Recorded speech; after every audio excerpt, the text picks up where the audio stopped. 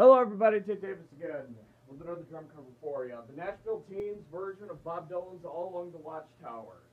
I actually like the Nashville Teens version better than Bob Dylan's original version. Um, I don't know, just something about it. Um, I think it was the follow-up. It was released in 1968 around the same time as Bob Dylan's original version of the John Wesley Harding album.